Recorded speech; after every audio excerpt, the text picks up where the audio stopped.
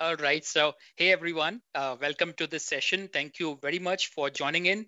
Uh, so, this session is all about Delta Live Tables, uh, building reliable ETL pipelines with Azure Databricks. Uh, so this time I'm joining virtually, but hopefully next year, you know, I'll be able to join in person as well, just like, you know, most of you are. So let's get started and let me just quickly introduce myself. Uh, my name is Mohit Batra. I'm founder at Crystal Talks, and we are mostly into content development, training, and consultancy. Uh, I work as a Pluralsight author as well, so I do publish a lot of video content uh, on topics like Snowflake, Databricks, Delta Lake, and so on. Uh, plus, I have previously I've worked with companies like Microsoft and Saxo Bank. Uh, my LinkedIn profile is there on your screen in case you wish to have a look, uh, or in case you wish to connect. I'll be more than happy to connect with you. All right, so let's get started and see what we are going to do today. Uh, we are going to focus on, uh, you know, first of all, what are the challenges we get with uh, with the with the ETL pipelines, and then we'll focus on what are Delta Live Tables and how it can actually help us build reliable ETL pipelines.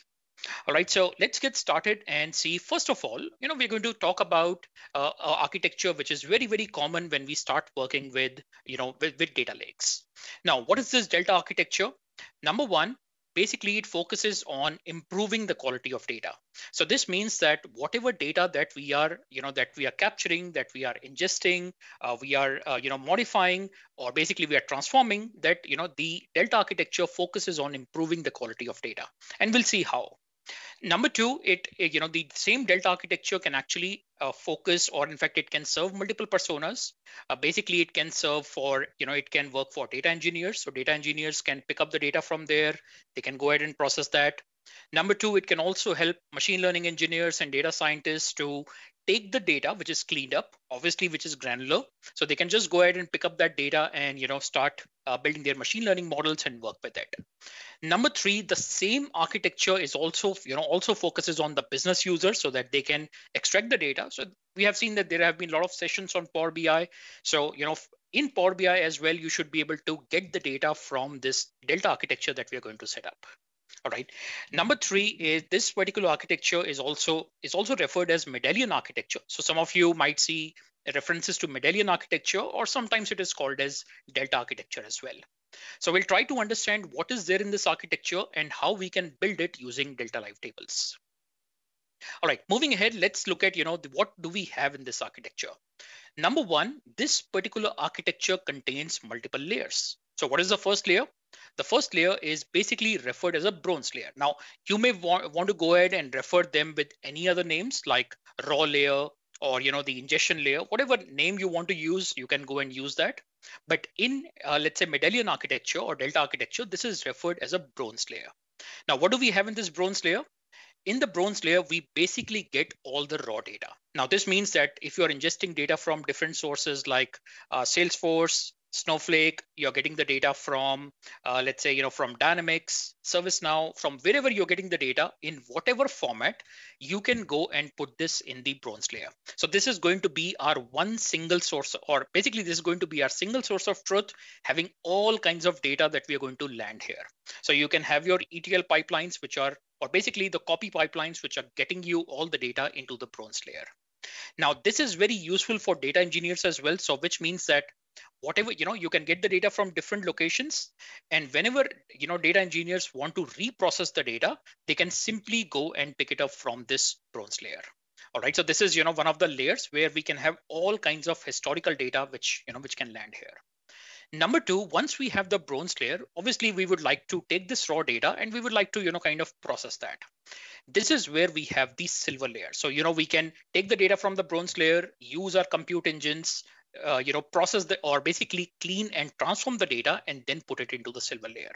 So the silver layer is going to focus on all kinds of granular data which means you know if you're getting customer data from multiple different sources you know we kind of standardize them have it in a granular format and then put it into the silver layer so this is where we combine the data from, let's say, as I mentioned, if you have customer data, you can go and take the data from different locations, combine them and put it into the silver layer by removing duplicates, by, uh, you know, removing null values and all other kinds of, you know, data quality issues. We can, you know, kind of uh, clean it up and then put it into the silver layer. Now, once we have the silver layer, compare this with the enterprise data warehouse layer where you can put all the data. Number three, then then we have the gold layer. Now this is these this particular layer is focused on the domain specific data. For example, you might have data for marketing domain, uh, for sales domain, for uh, let's say uh, you know other departments. So you can go and have domain specific uh, data present into the gold layer. Now, if you if we put this into perspective, think of this like if you take up a data lake or a storage space. So one folder can be your bronze layer, just as an example, second layer, second folder could be your silver layer and third folder could be your gold layer. And of course, in the gold layer, you can have different, different folders to keep domain specific data. So gold layer is basically used for the BI or reporting purposes. So this is where business users can pitch in, they can pick up the data. Uh, the silver layer can be used by data, uh, let's say the data scientists or machine learning engineers, where they can get the cleaned up data, but in granular format. And then of course, the raw data can be used by data engineers to you know, if they want to reprocess this data, they can get it from here. Now, this is what we have in the Delta architecture. Now, think about that for this architecture, if we have to go and build an ETL pipeline, what is it that we are going to do? So very easy. We are going to ingest the data into the bronze layer. From the bronze layer, put it into silver layer, and then we put it into the gold layer. So very, very straightforward, very simple to build, right? Actually, no. So everybody knows that this is, you know, this is just a representation, but the ETL pipelines are not that simple to build. So what kind of, you know, problems that we face here? First of all, we are not working with a single entity. We are actually working with multiple entities. So, you know, you might have hundreds of entities like customers, sales, orders, whatever, what else, you know, you can have lots and lots of entities you know which uh, for which you're going to process so this is where you're going to have you know lots of data into your bronze layer or in fact a lot of entities into the bronze layer now it never happens to be a one-to-one mapping it always has a you know kind of a multiple or one-to-many mappings. So this means you might be extracting data from customer and accounts and you might want to combine them into the silver layer. So this means there is a lot of complexity involved. There are a lot of dependencies involved between multiple layers that you would like to address. All right. Then of course you know once the data goes into the gold layer if you want to combine them if you want to aggregate them so it's not about always aggregation is again aggregation is not just one to one there will be multiple entities that will have to combine them and then put it into the gold layer think about if you're getting let's say customer data and you're getting accounts data and if you're looking for sales department you know they might want to kind of combine them and show it as a one single view or you might want to put up put up reports there so this means that ETL building up ETL pipelines is, a, is, an extremely tough job. If you're into ETL development, you know, I'm sure you know it very well. It's a pretty, you know, it's a pretty difficult task to do. That is why, you know, so let's talk about what kind of other complexities we might face with the ETL pipelines or we do face with the ETL pipelines. Number one is the infrastructure. So, so far we have been talking about the architecture, we have been talking about the dependencies, but if you have lots and lots of data to process, the infrastructure is an extremely big challenge. You know, how do you scale this infrastructure? How do you make sure that, you know, we have the, we are not spending too much or we are not spending, uh, you know, we are not spending above limits. And we also have to make sure that we are, you know, we are not under or in fact we you know we are having the right amount of resources Number two is about managing the dependencies, as you saw in the previous slide, that we also need to make sure that if we are combining, let's say, customer and accounts data, you know, which entity should be processed first and which entity should be processed next. In the same way, we also want to, you know, track the lineage, you know, from where the data is flowing, whether it's coming from Dynamics, it's coming from Salesforce. So, you know, from where the data is actually coming and then it is going to the end users. Number four is we not just have the batch data, or the historical data, we also have the streaming data that we need to take care of. So again, this is a very big challenge when you have, you know, when you have to build separate streaming and batch pipelines, it becomes difficult to manage. There are lots of chances of errors that can come in. So we also need to ensure that we have the batch pipelines and the streaming pipelines handled in a seamless and, you know, in a seamless way. Number five, we have the, we also have to ensure that the data quality is, of course, you know, this is the most important point that whatever data we are storing in any of these layers, you know, there is there it has gone through a proper data quality check. Uh, number five, you know, there are they can be failures, there can be retries. If you are an ETL engineer, you know it very well that there can be lots of failures, you know, when you are building the pipelines and you might have to retry. And if you're retrying, you also have to ensure there is no data duplication and so on and so forth. and then of course you have to monitor them you have to and if you know so you have to sit down nights you have to monitor your pipelines and you have to make sure they are optimized and you can complete them you know much ahead of time you know or your slas and finally, you have to deploy your pipelines into multiple environments, you know, from development to pre-production to production. So this is again another challenge that we have to take care of. So, you know, so there are lots and lots of challenges associated uh, with building ETL pipelines, and that's what we'll see how this can be addressed using Delta Live Tables. So Delta Live Tables, basically, you know, it's a simply a framework uh, which using which you can build uh, the pipelines and you can we can address all the challenges that you have seen on the previous slide. So, you know, this is all looks a bit theoretical, building reliable, automated, declarative. But the point is that we would like to make sure that whatever challenges that we have seen, you know, we are able to address that using the DLT pipelines. All right, number two, this is built by Databricks. So this is only available in Databricks right now. It's not open source, so we have to, you know, so if you want to work with it, you have to work with the Databricks environment. Now let me show you what kind of pipelines we can build with DLT. So this is just a sample pipeline that we are going to build in in in few minutes, you know, or in this session. So you'll see that how we can build, uh, you know, kind of have dependencies in between the pipelines. So you can see this way. So we'll also see that how we can handle streaming data as well as the batch data in a single pipeline. So you'll see how we are handling the batch data, how we are handling the streaming data, how we are doing incremental loading, and how we are handling dependencies, you know, in this single, you know, in this single demo.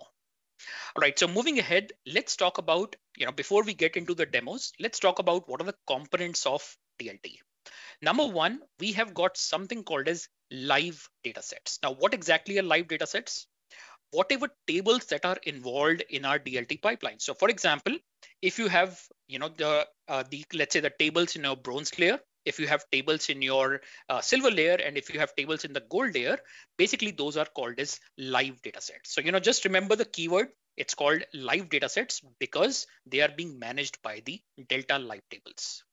Number two, you know, the it uh, the second component we have is the data quality checks.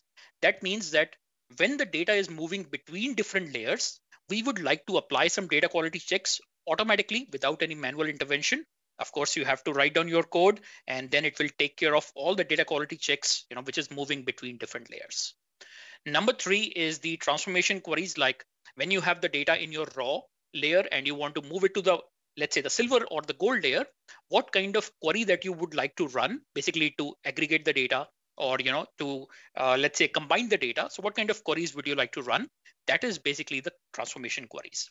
And remember that this is also going to take care of all the dependencies between the queries. And I'll show you an examples, you know, how you can handle these kind of dependencies.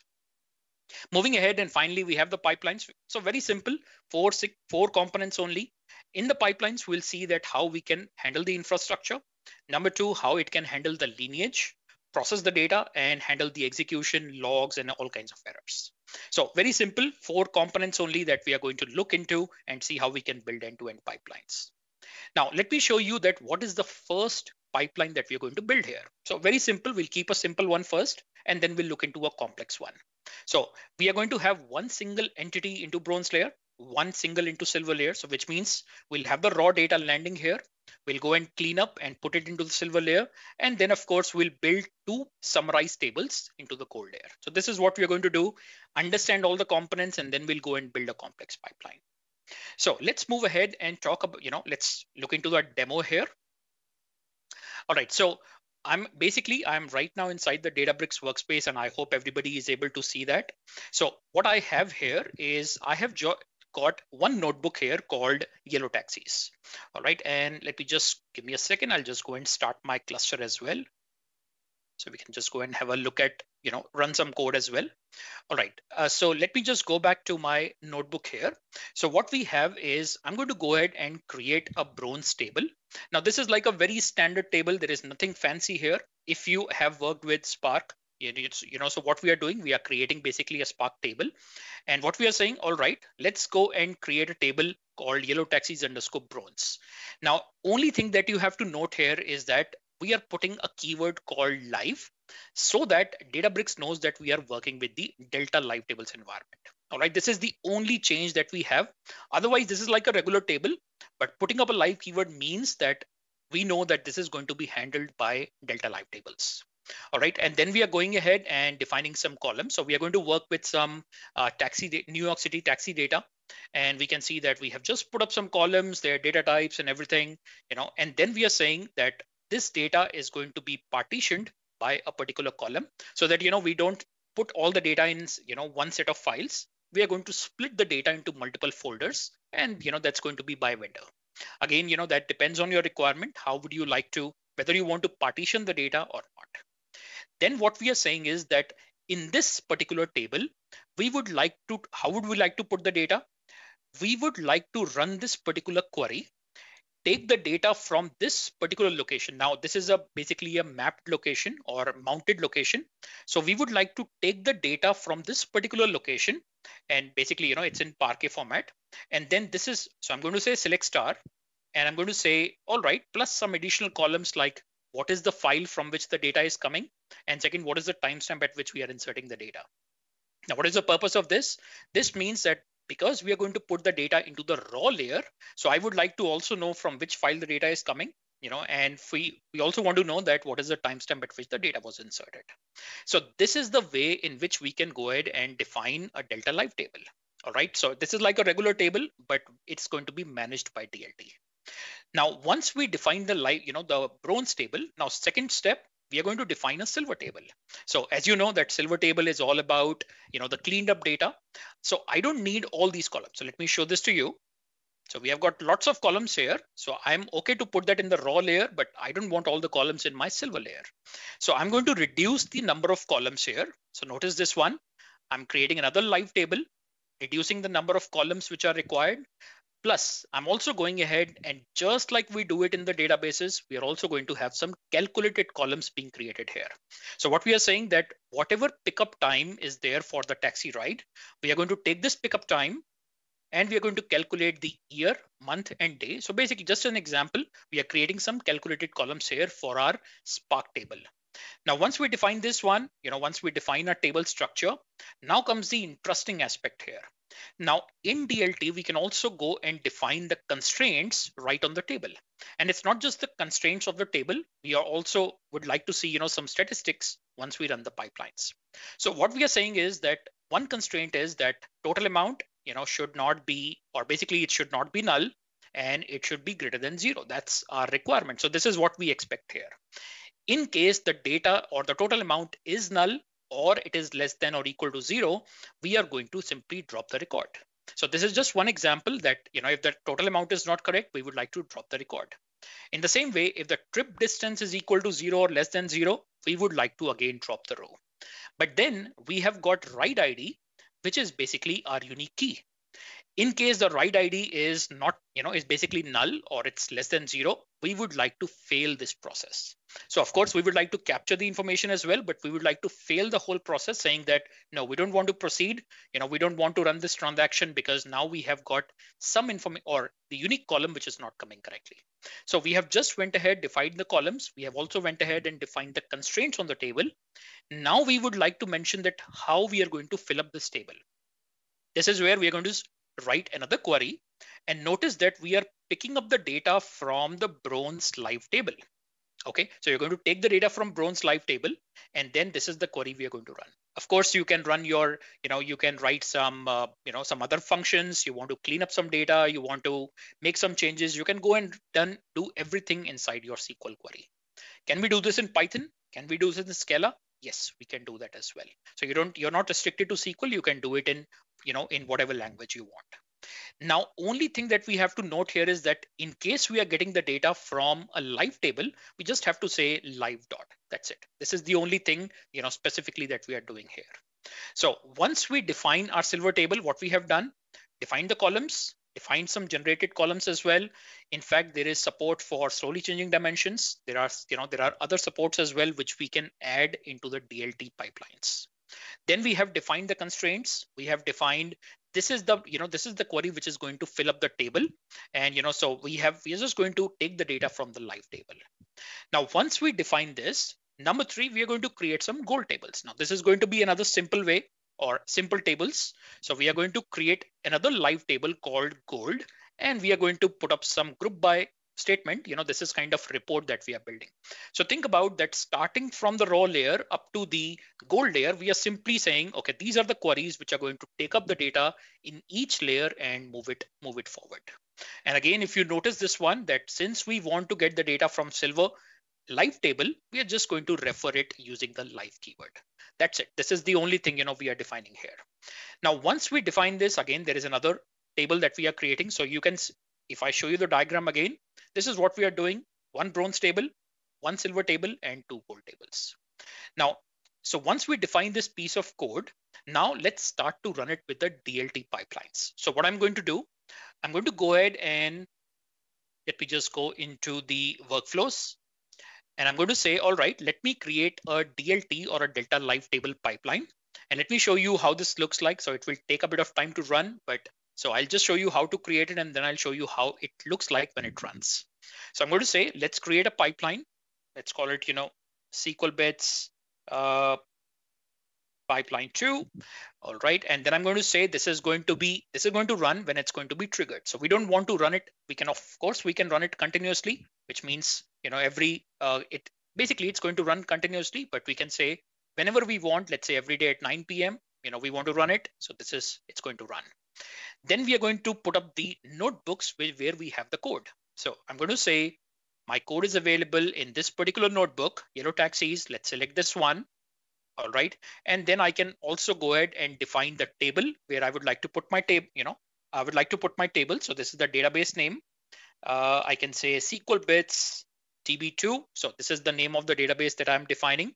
And then I can say what is the infrastructure that I want here? So I can say, uh, you know, I can define the minimum and maximum number of workers. So Databricks has got you know, and very optimized auto scaling feature. So if you have very less data, it's going to work with one single worker.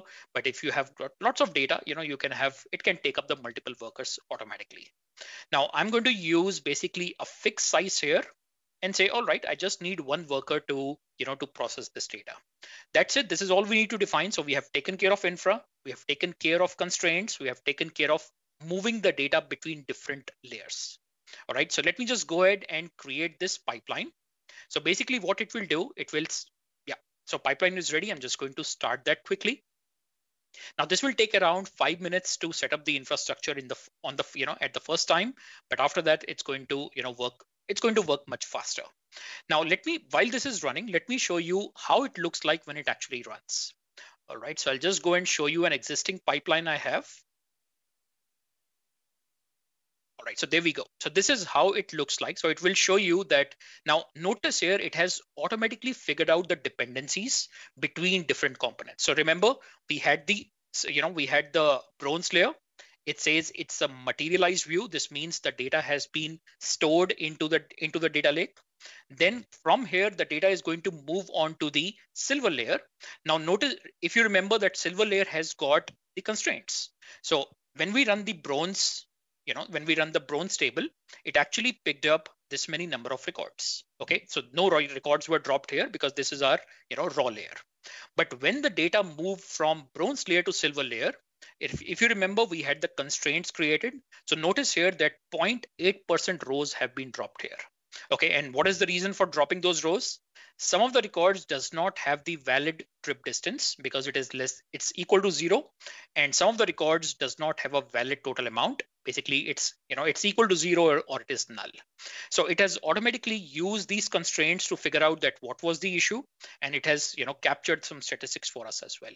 Now, if you want to capture and put this information into a separate place, let's say, you know, you want to capture the records where trip distance is less than zero, or, you know, we can do that as well. Okay, so this is how our first pipeline looks like. So you can see that number of records have reduced when it was taken from the bronze layer. And then, you know, we are having some summary tables where we have 35 and, you know, 22,000 records. So all this, you know, the aggregation has been performed. Now, if we go, and now this is what a simple pipeline looks like. But if we go and look at, you know, let's look at some complex one. All right, now how this complex pipeline will look like. Now I would like to also introduce some streaming data here. So this means that now first I'm going to mix and match some batch data and the streaming data. So for example, we are going to have a taxi zones. This is going to be something called as a complete table. Now, what is what do we mean by complete table? This means this is going to reload every time.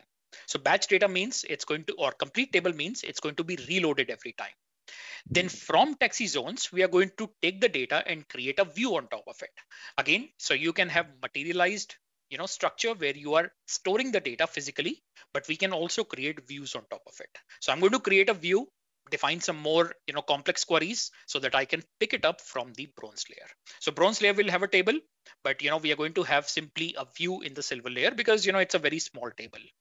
Then on the other side, I'm going to take the, you know, take the yellow taxis data, but this time I'm going to make it a streaming table, which means that you know whenever we are reading the data we are only going to read the change data. You know let's say if i if i'm reading the data from let's say from data lake i'm going to only pick up the files which are new and i'm not going to pick up the files which are you know which have already been processed. Okay so this is means we are going to work with the streaming data here then from this one, I'm going to create another view on top of it so that I can apply some constraints. I can go and, you know, make some changes to my query, which is going to go out from the bronze layer. Then I'm going to create another table in the silver layer. And this time, whatever new changes are coming here, I'm going to merge it. For example, let's say on a daily basis, you're getting some customer data. So whatever raw data you're getting on a daily basis, you're going to store it in the raw layer. But then that customer might already be existing. So we would like to go and merge the information into the silver layer. So this is what we are going to perform. Take the data, you know, and see that whether we it needs to be updated, it needs to be deleted, or it needs to be inserted. So we are going to perform an insert, update, delete operation at this particular point. And once we have the, you know, the incremental data being loaded here, then we are going to go ahead and again create some summary tables this is going to be complete table. This means the summary tables are going to be reloaded on a daily basis. Again, depends on your requirement whether you would like to incrementally load these summary tables or you would like to go and you know recreate them. So this is the kind of pipeline now we are going to build. So we'll have on one side, we'll have basically the complete loading of data that's called complete table. And on another side, we are going to do incremental loading of data, you know, by taking it from data lake. Okay, so let's go and see that how it looks like if I guess some couple of people are taking the picture. So if you have done that, so I'll just move ahead and yep, I think some of you are doing it. So wonderful. So let's move on and see that how this pipeline looks like. So I'm going to go in and uh, once again, I'll just go and show you a couple of another notebooks. So first of all, let me show you Taxi Zones notebook. How does it look like? So this is going to be very similar to what you have seen already in the previous example. So I'm going to create basically a live table. So this is going to be for taxi zones. And if you notice here that we are reading the data from Parquet files, uh, if I'm sure you know many of you must be knowing Parquet already contains a schema, so I don't need to define the schema for the table. I'm going to simply take the files from there, take the schema, and this is going to be the schema of you know that we are going to put in the raw layer. So all the raw data we are going to put as it is into our bronze table here. Now, once we define the bronze table, then we are going to create a silver view. Remember that we are not going to materialize the data. We're simply going to create a view on top of it. Because, you know, if you're moving the data between different layers, we don't have to materialize in every in every layer because if it's a small table, we can simply create a view on top of it. So what we are doing, we are creating a view here and on the view as well we are going and putting a constraint saying that you know if the uh, if the if this is not the if this condition does not meet we are going to drop the row here. So this is how we are very simply creating a silver layer. Now just notice once again that we are using the live keyword which means we are going to take the data from the bronze one. Now this is how we are you know doing a complete loading of the data. See this one once again. So we are going to take the data from here you know, which is from the source, put it into the bronze and create a view on top of it in the silver layer. Okay, so this part is done. Now let's see the incremental part here. So I'm going to show you another notebook. How does that look like? Now this is where, if you remember previously, we were using the keyword or we were using the command create live table. Now this time, because we want to have streaming data, we are going to say create streaming live table. This means we are only going to pick incremental data, you know, from, from, the, from the source location.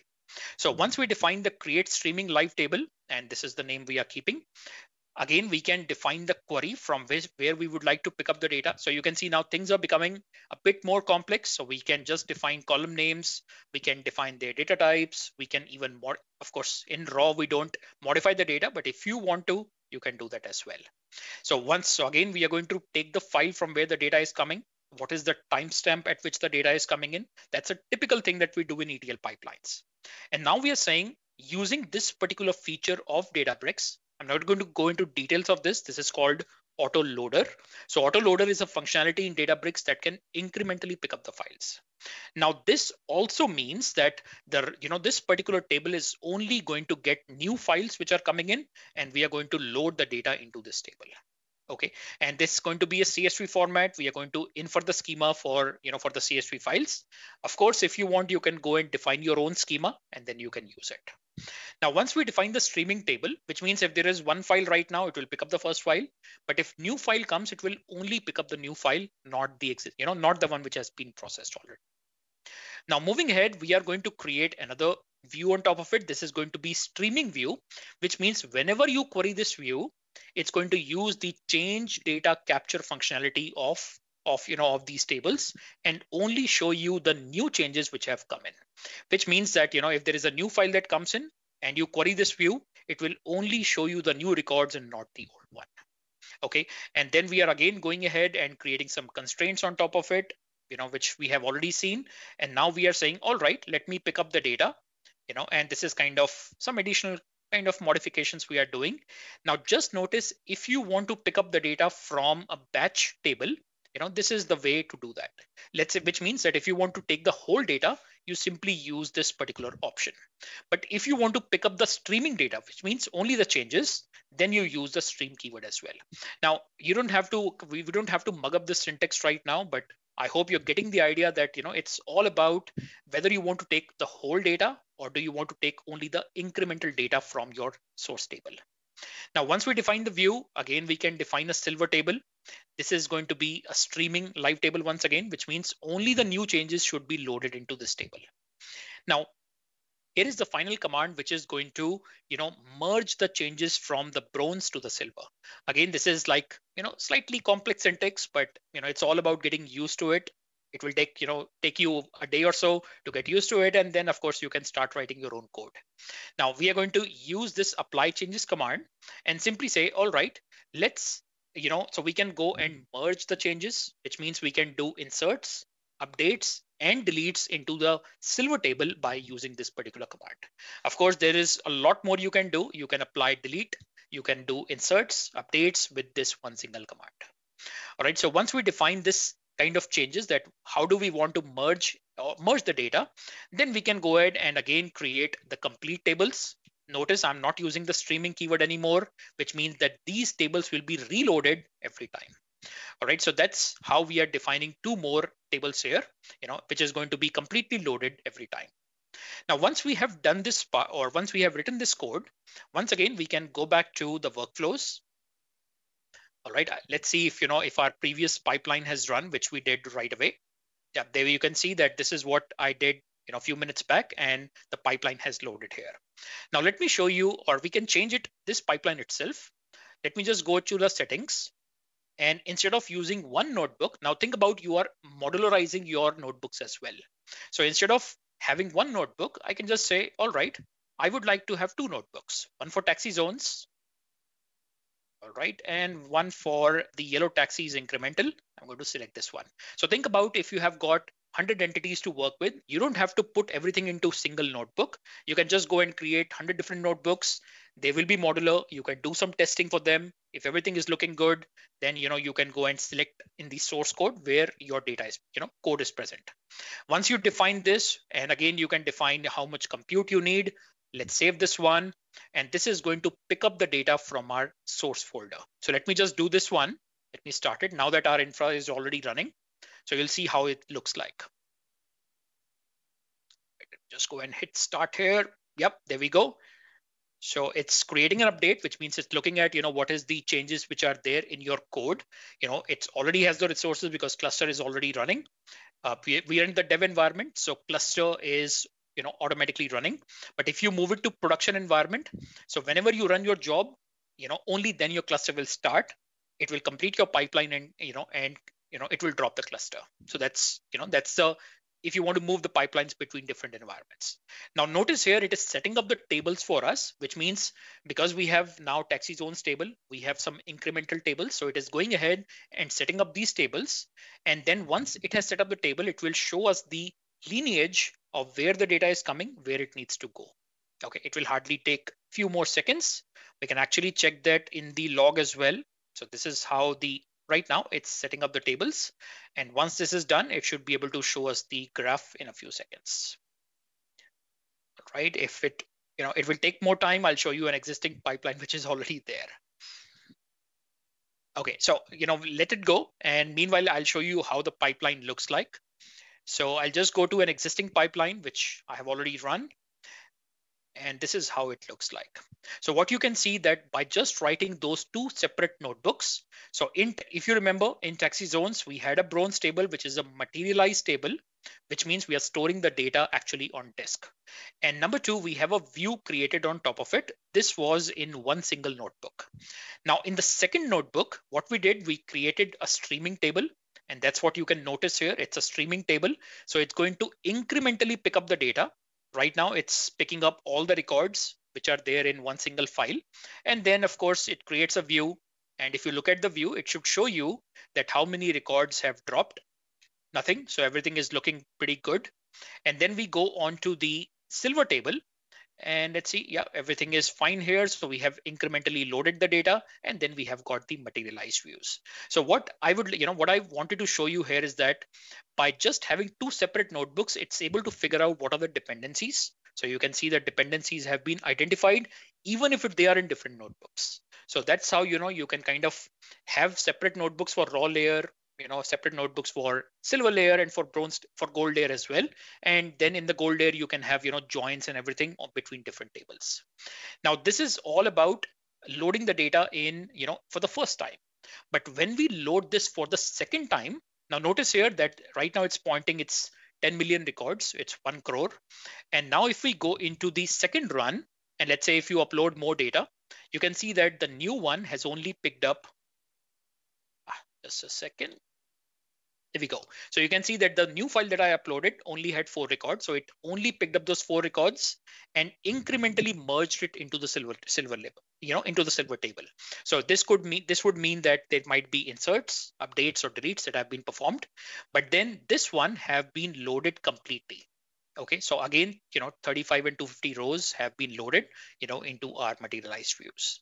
So this is how we can work with the Delta Live tables without worrying about the infra, without worrying about the data quality. Of course, you have to worry about, you know, and write down your code for data quality checks and all. But once you define it, your, you know, the dependencies, lineage can automatically be taken care of. The another good thing is that if you're working with, let's say, Microsoft Purview, you know, this kind of lineage can also be captured there. And then, you know, you can use it to identify from where the data has flown, you know, to your end users. So that's it. This is all we have in, you know, in this session. Of course, you know, if you have any questions, feel free to put that in the chat window and, you know, we can go and take it up from there. So once again, you know, just before we go and, you know, pick up any questions. So this is the feedback link in front of your screen. Uh, we'll be very glad if you can just go ahead and, you know, fill up some feedback. Thank you. And let's see, you know, if you can, if you want, you can put up your questions in the Q&A panel or if, uh, you know, if yeah, if you have any questions, feel free to go and ask that. Thank you.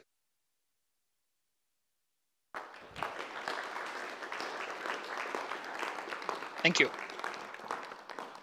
Hello, can you hear me okay? Yes. Good, good. Yeah, we've got some questions. It's not coming up on your Canopy app for some reason, so I'm just going to read them out if that's okay. Sure, sure. That would okay, be wonderful. So we've got Anders asks, can you send failed rows to another table for later inspection? Yes. So this is something which I, uh, you know, which I quickly mentioned, but probably, you know, we I, I mentioned it too quickly. So basically, if there are any failed rows, that can also be moved to a separate location. Now, what you can also do is that, uh, you know, so that's one of the option. The second option is you can create another table. You know, let me just show that to you. So what we can do, we can also go and create a table. Let's see if I can do that. Yeah. So, you know, so in this particular table, we are saying the constraint is that total amount is not null and it should be greater than zero. So one of the options is that instead of dropping the row, you can move it to another one. But that is something which is coming up right now that's in private preview, but very soon that will be available. Or right now, if you want to do it, so what you can say, let me create another table. And that table, you can put up a constraint saying total amount is null or it's equal to equal to you know equal to or less than zero. If you put a constraint like this then you know the uh, you know the basically we are kind of creating a conditional split between two tables. Move the right data into you know into your main table and then have a error table where you can move the data hope that answers, answers the question yeah okay so jan asks how do you handle dependencies between separate notebooks all right. So this is something which is a feature of DLT framework. And actually, if you look at what we have done right now, so we actually created two notebooks. So we had a taxi zones notebook. And let me just show you. Uh, let's say if I go to the incremental notebook, and let me, I think this is something which I did not show you. So notice this one, we are creating a gold table. And in this gold table, I'm simply saying, you know, join the silver, uh, yellow taxis silver table and join it with the taxi zone silver live. Now remember that taxis, this particular table has been created in a separate notebook. And this is, you know, so this is not part of this notebook. It's in a separate notebook. But because we are using the DLT framework and once it starts reading the code, it will see, all right, you are referring to some kind of, you know, uh, basically you're referring to a silver table of taxi zones. So it will automatically identify the dependencies and then kind of create the pipeline for us. So before the actual pipeline executes, it's going to scan through all the code, find out what are the dependencies between different tables, and then it is going to create those dependencies. Great. Okay, so Tom is asking, in the bronze layer, would you keep all the data you have ever ingested or would you delete it once it was moved into the silver and gold layers? Sure. So ideally, we should keep now. Basically, the bronze layer is meant to keep all kinds of raw data. Now, this is you know you know so you have this can become your single source of truth to have all kinds of data in one single place. Now, there are a couple of reasons for this. Number one is that if you have data coming from, uh, let's say, if you're getting the data from source and source does not keep historical data. For example, if you're getting customer information and once a customer updates the information, you know the previous information is gone. But as a you know as a warehouse or let's say you know as your uh, as a having a single layer for the raw data, you know, as a single layer where you have all the historical information, you also need to maintain, you know, what changes have been done to your data. So the raw, the bronze layer should ideally be used to have all the historical data. So that's why you know we should not delete it. But it all depends on your compliance requirements. Let's say you know if because of gdpr if you have to go and remove a customer information. So yeah of course you have to delete it from the bronze layer as well. But i you know in an ideal world all the data should always be persisted there. But let's say after 10 years if you don't need it or let's say five years you don't need it you can go and remove it from the bronze layer. Okay brilliant. So benjamin is asking using the auto loader can you control or monitor what files are loaded? For example, yes. excluding files or reloading certain files. Yes. So autoloader basically, you know, it's based on the streaming concept. Uh, if you look at, for example, Spark structured streaming, Spark structured streaming has got a concept of checkpointing. So the autoloader also works with a checkpointing concept. This means that you know whatever files have been loaded, it keeps a track of it. And next time when you know there is a new file that comes in, it's kind of looking into that, but you know it will look into that same folder, see that which files have already been loaded, and simply ignore them. Uh, so this is that's basically autoloader comes with a checkpointing you know functionality that will make sure only the new files are picked up from there. Of course, you know, there are many other tweaks you can do with the autoloader functionality. Like if you want to reload a file, you can do that stuff as well. Okay, so just a couple more questions. So Olaf asks, uh, what does the keyword live do? For example, what's the difference between a delta table and a live yep. delta table? Okay, so basically, if you look, let's say if I create uh, and if you are already aware about the concept of delta tables so basically when we say create live table think of the basically what it's going to do it's going to create a delta table only this means this is like a regular delta table you can go and query it so let me show this to you as well let's see if my cluster is already running. I can go to this notebook and let's see if it's running. Yep, it's running. So what I can do, this is the table that we created, bronze live table. And remember we created, how did we create it? We said create live table, uh, yellow taxis underscore bronze live. But what exactly is this? This is actually a delta table only. Okay, so if you look at this one, it's running, it's just kind of querying it. Hopefully my cluster is running. So this will show you that this is like a regular table. The only difference is that when you say live, of course, can I make some, can I, you know, can I insert some data into this? Yes, I can do it. So I can run queries.